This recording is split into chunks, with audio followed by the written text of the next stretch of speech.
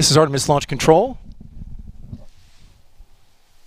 with an update on a previous issue. We're holding at uh, T minus 40 minutes. You may recall, if you've been with us for the past hour, that uh, there was a line of ice that had formed on the intertank on the exterior of the core stage where there is a flange. Engineers have uh, taken a long look at that and have come up with a conclusion. Uh, they say that um, that ice formed along a line.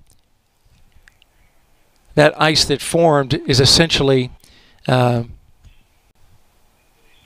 air that's being chilled by the tank that gets trapped inside of a crack in the foam, but not the actual tank. So ambient air is basically cryopumped into this uh, crevice in the thermal protection system, which that butterscotch colored thermal protection that you see there is sprayed on, and especially at that seam where you see the intertank between where it starts to go into a, a cone. In that area, they've had trouble in the past where it's just a stress crack in the foam. And they know this because they can see the offset. If it were a structural crack, uh, one side would be coming out farther than the other. They don't see that.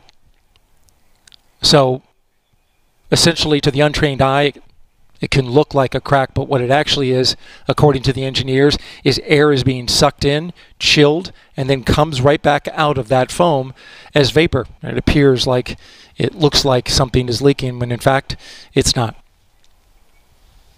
And they have a history of this going back to the space shuttle era, which had an external tank with super chilled propellants in it.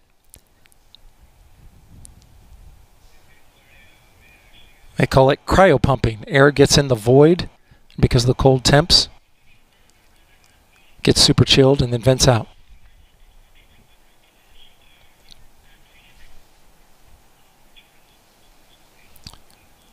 In the meantime, we're awaiting the uh, hydrogen team's plan to go forward and update uh, to the launch director. Standing by for that. We'll have that as soon as they give it.